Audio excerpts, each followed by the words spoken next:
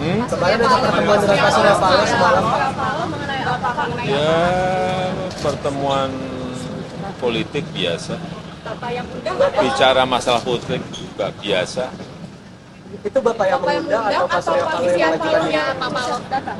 Saya kira dua-duanya tidak perlu lah harus siapa yang mengundang siapa yang nggak perlu. Yang paling penting memang ada pertemuan dan itu akan sangat bermanfaat bagi eh, perpolitikan kita, bagi eh, negara. Saya kira yang paling penting itu. Kepada Pak yang bilang siap jadi oposisi bagaimana Pak? PDIP yang PDIP bilang yang siap siap jadi oposisi. Ya ditanyakan aja kepada beliau-beliau yang ada di PDI Pak. Pak, Perjuangan. ajakan ke Pak Nasdem apa Pak? Hmm? Kalau Bapak harapan ke Pak Surya Paloh kepada Nasdem apa sih Pak? Ini baru awal-awal. Nanti kalau sudah kasih Pak. final nanti kami sampaikan. Tapi itu sebetulnya saya itu hanya menjadi jembatan. Yang paling penting kan nanti partai-partai lah. Partai-partai.